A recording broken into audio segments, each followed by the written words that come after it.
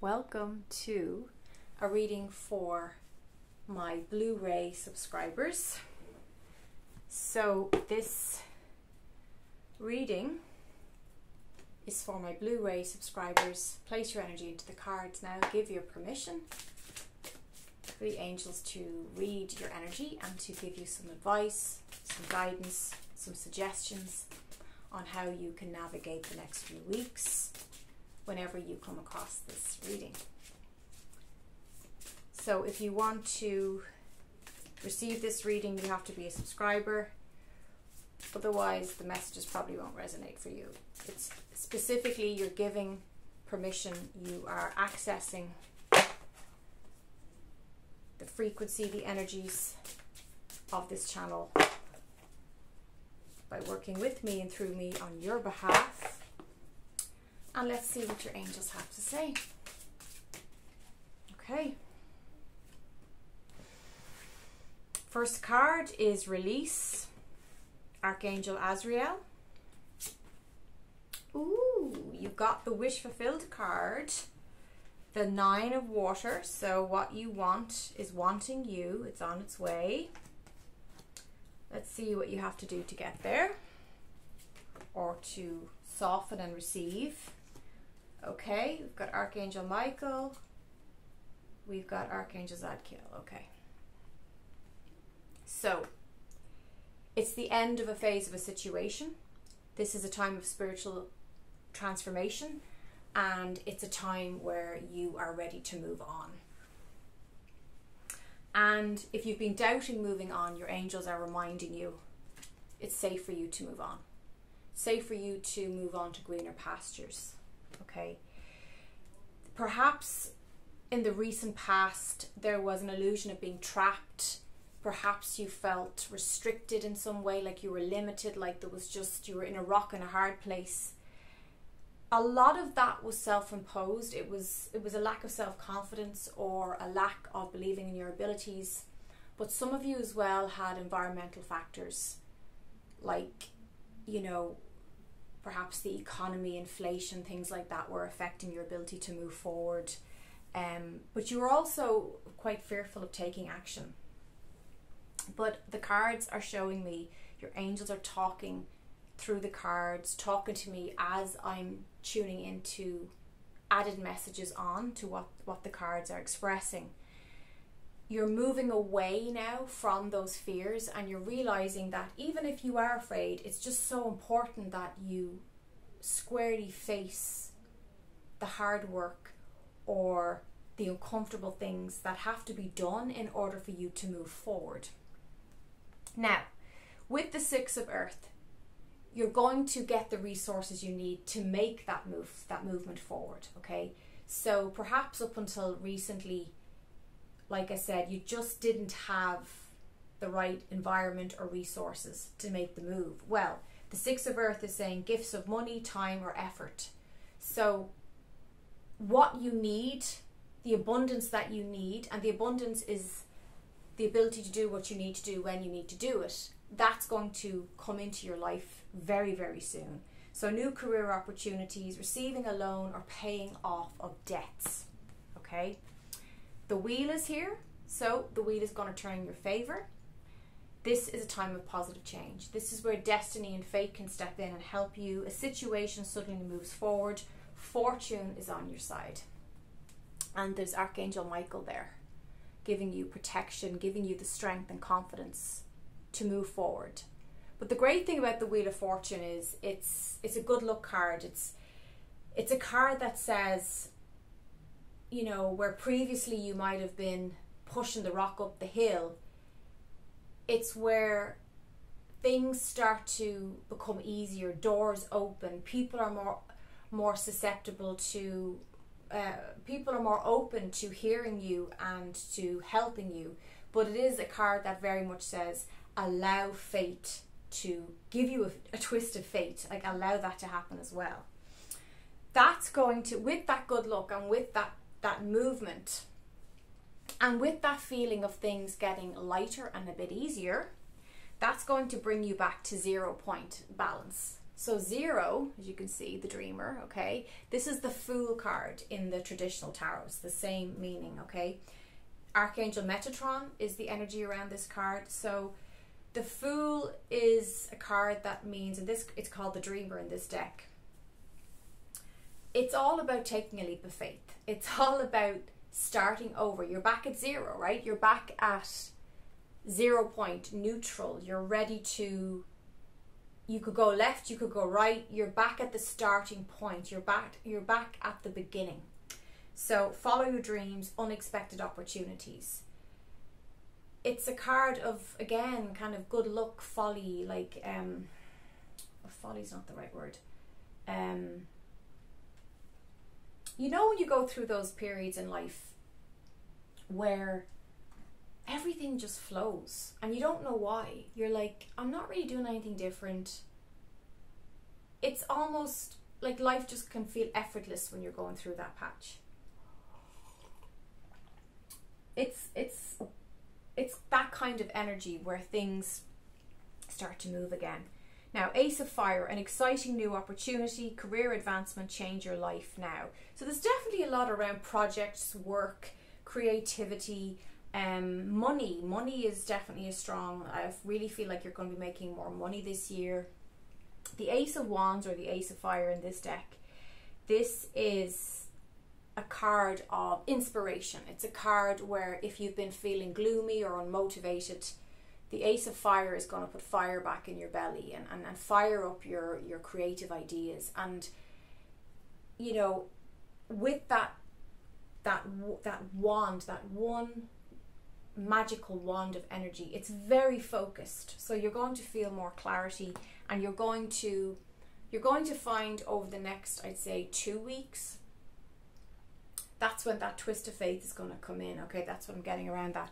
And that's when it's going to lead you to the page of water. So, page of cups, okay? A new person enters your life, a relationship begins a new phase, heightened psychic abilities. So the page of water is intuitive, sensitive, artistic, and friendly. This is about making synchronistic choices. Like instead of instead of going a certain way home from work that day, you decide you're going to go up to that new shopping mall and you're going to get a new you're going to buy some underwear. And you that's you know that's where you meet that old friend who invites you to a party or invites you to an event where you go and then you meet this person. It's that kind of. The cups have an emotional, soulful, spiritual element, energy to them. And then that's leading to the Nine of Cups or the Nine of Water. And this is a wish fulfilled. So it says here, your wish comes true. Okay. Concerns fade away and a new love of life. So this is one of my favorite cards. I love the Ace of Cups, I love the Two of Cups, and I love the Nine of Cups because this is like relief when you get this. It's like your wish is fulfilled. Now, let's just have a look here. We have the Nine of Earth, Nine of Pentacles enjoying life's little luxuries, spending quiet time alone, and successful self employment. So, as you can see, there's a lot about employment here. There's a lot about this seems to be very focused on work. If you're retired, if you're no longer working a job, it your work is work. Like your life is work. So that could be raising, you know, maybe you're you've given birth to, to a child and that's your job now. You are raising this this human being into a fully formed, fledged person. So take the meanings of the cards and the reading and adapt it to your own life situation and circumstances. So, and then for other people, it will be that they're going self employed, maybe they're setting up as a light worker, or they're aiming to progress and advance in their current company. So, very, very positive around receiving all that. Then we have number 14, balance. So, the need for balance and moderation, cooperation and compromise, and wait for perfect timing. So, this is all about two seemingly opposite energies. So, we'll say oil and water. And even though you think oil and water can't mix, this card says otherwise. So, if there's something that you feel oh, it's impossible. I couldn't do that. Like, I, who am I to, to try and take that on? It's a card that says if you create balance within you, you can create the impossible. You can do what hasn't been done before. You can break out of the mold and do something spectacular and unusual and needed and fresh in the world, okay? And that leads you to becoming the emperor. Number four, stable. Think of four legs on a table. It's steady, it's solid, it's balanced, okay? The Emperor is the four kings of the tarot deck in one. He is sure footed, he is confident, he is masculine in his energy. He he gets stuff done, he knows what he's doing, he knows who he is.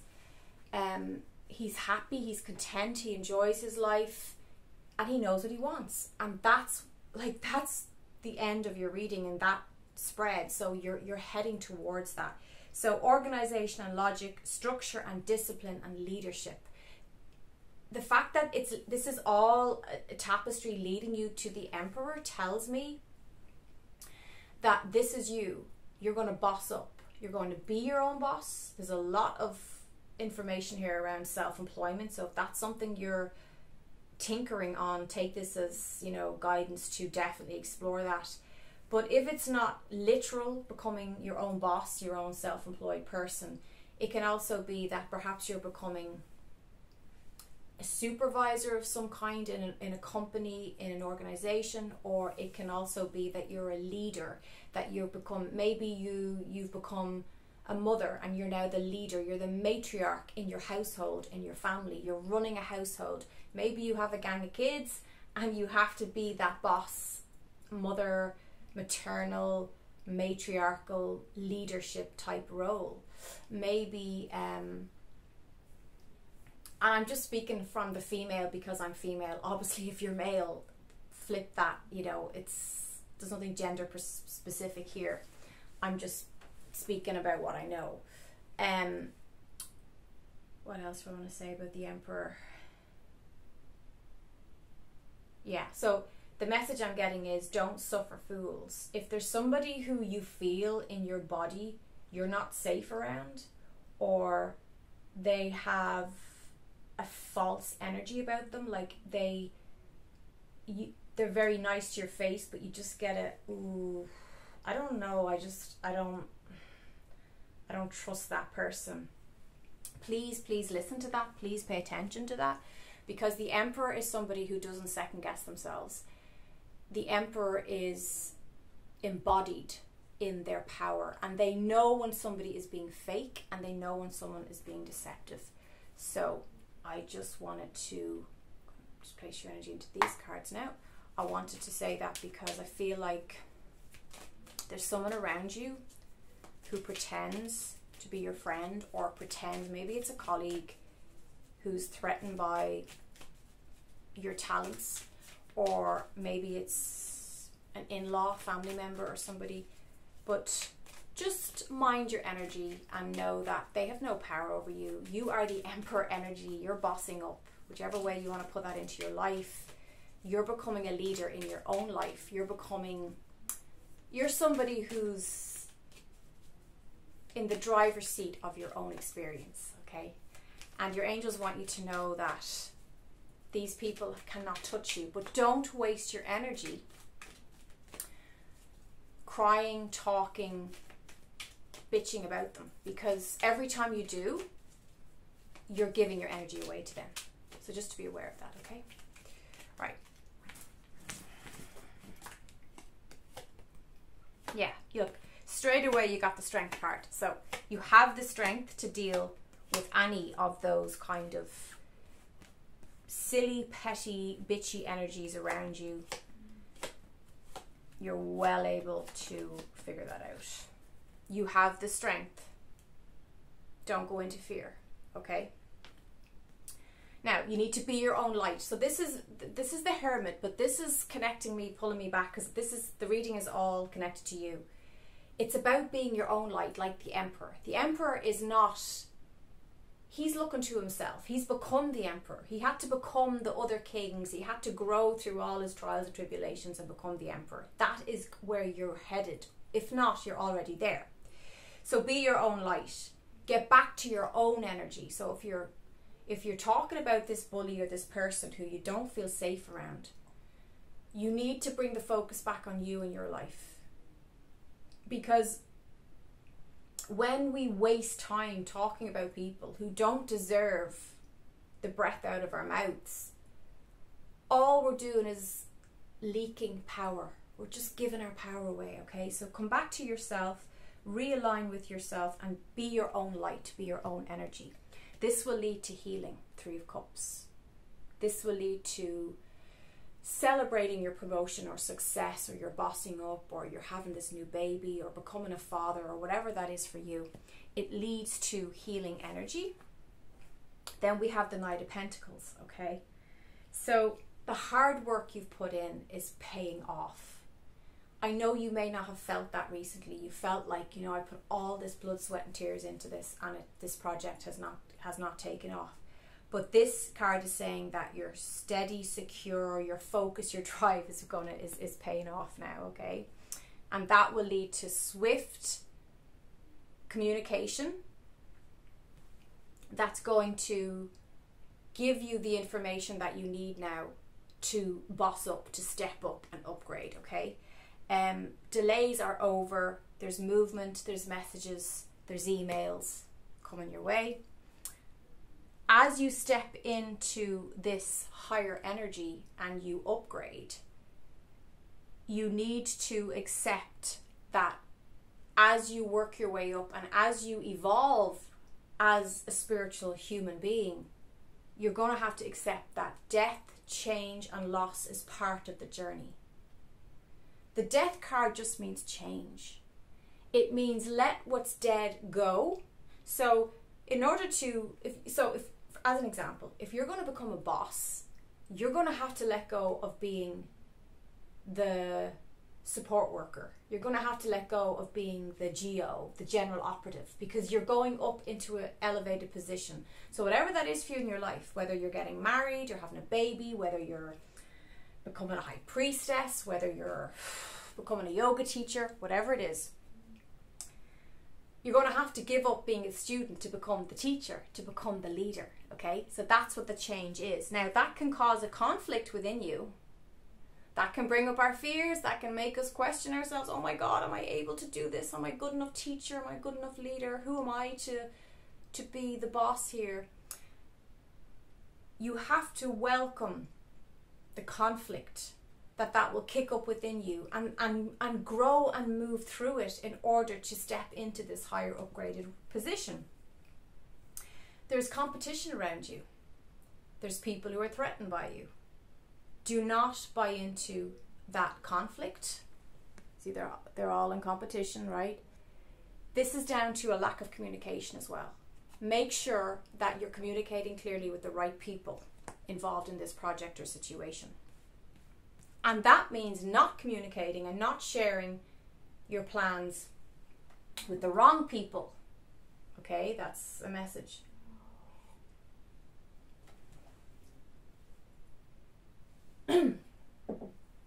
All right. Where we at? Where we at?